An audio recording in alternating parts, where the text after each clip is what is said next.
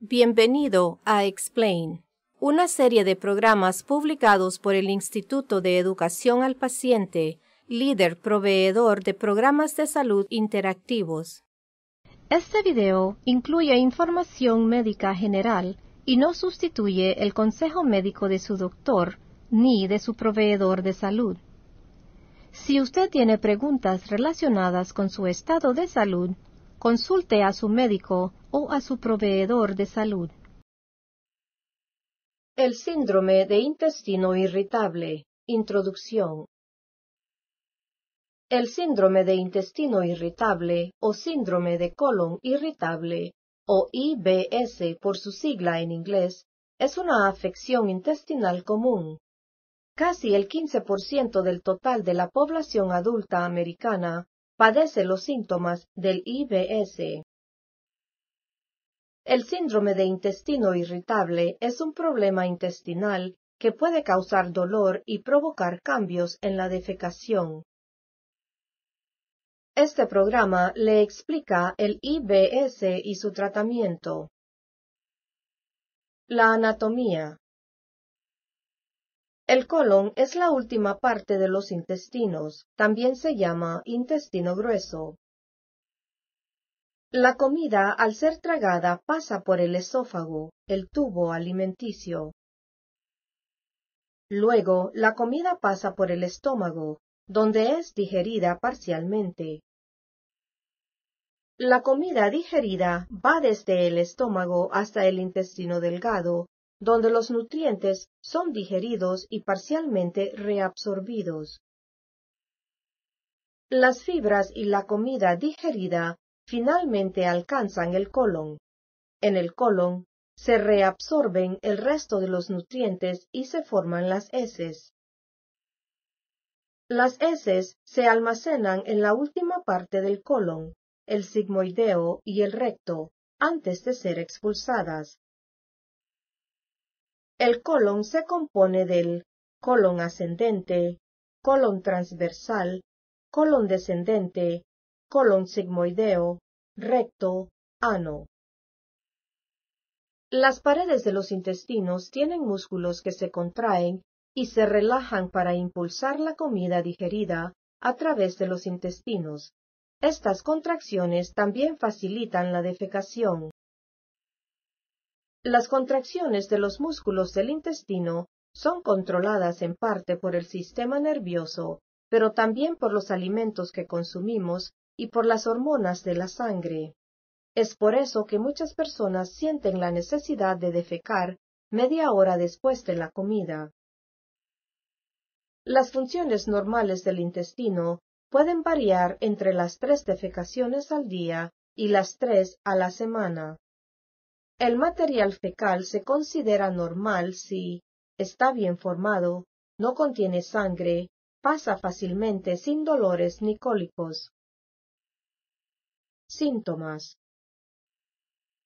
Entre los síntomas comunes de síndrome del intestino irritable se incluyen los cólicos abdominales, la hinchazón, los gases, la diarrea, el estreñimiento o los dos. Entre los síntomas del síndrome de intestino irritable no se incluyen los que se citan a continuación.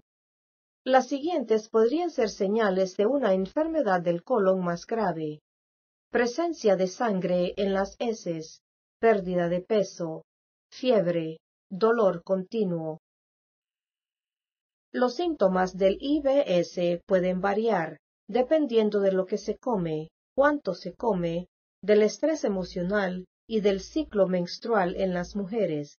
Es importante mantener un récord estricto de lo que hace empeorar sus síntomas. Algunos tipos de comidas pueden causar también los síntomas del IBS. Entre estos se incluyen los productos lácteos, las comidas grasosas, el chocolate, la cafeína, el alcohol. Los síntomas del IBS pueden ser leves si ocurren solo de vez en cuando o pueden ocurrir más frecuentemente. En el peor de los casos, los síntomas del IBS pueden limitar su capacidad para trabajar, hacer vida social o hasta para salir de casa por una hora. Usted puede tener que estar cerca del baño en todo momento. Patrocinado por el Instituto de Educación al Paciente www.patient-education.com. Más de 5.000 videos y tutoriales. Causas. Hoy en día no se conocen las causas del síndrome de intestino irritable. Entre los factores que parecen producir los síntomas del IBS se incluyen la dieta, el estrés emocional y las hormonas. Los pacientes que padecen el síndrome de intestino irritable no tienen un riesgo más alto de desarrollar cáncer de colon. Los pacientes que tienen IBS no tienen un riesgo más alto de desarrollar problemas psicológicos o psiquiátricos. Diagnóstico. Solo se diagnostica el IBS después de eliminar otras enfermedades que podrían provocar síntomas similares. Primero, se realiza una historia médica detallada y un examen físico. Se pueden tomar muestras de las heces para buscar evidencias de sangre o de infecciones. Se puede hacer un examen especializado llamado endoscopia para observar el interior del colon. Los exámenes radiológicos, los enemas de vario o las tomografías axiales computarizadas también pueden ser útiles. Si los exámenes demuestran que el paciente no sufre otras afecciones, se puede diagnosticar el IBS. Tratamiento.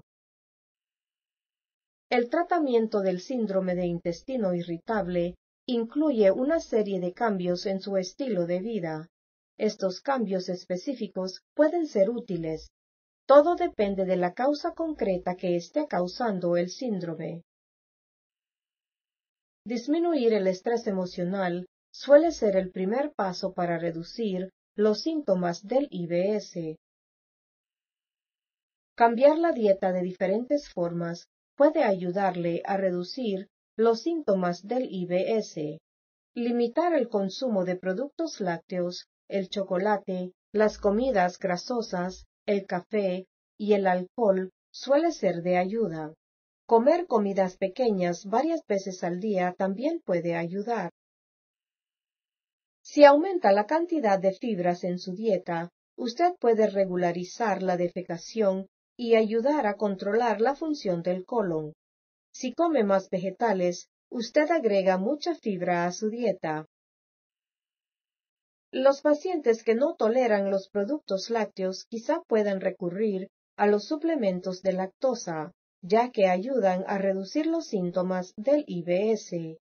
La lactosa es un componente químico especial que ayuda a digerir el producto lácteo. También se pueden administrar medicamentos que relajan los músculos de los intestinos. Los suavizantes de heces o laxantes deben usarse con cuidado. Existe la posibilidad de que los músculos del intestino se vuelvan dependientes o adictos a los laxantes.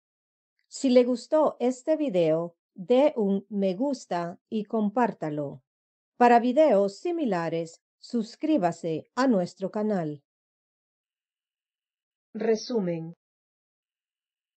El síndrome de intestino irritable es un problema intestinal que puede causar dolor y provocar cambios en la defecación.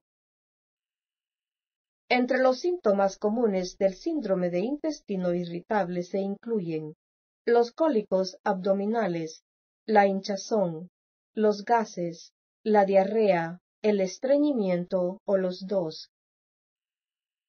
Aún no se conocen las causas del IBS. Los factores que parecen producir los síntomas del IBS incluyen la dieta, el estrés emocional y las hormonas. El tratamiento del síndrome de intestino irritable incluye una serie de cambios en su estilo de vida. Estos cambios específicos pueden ser útiles. Todo depende de la causa concreta que esté causando el síndrome. Es importante que usted avise a su profesional de la salud si se presentan los síntomas del IBS.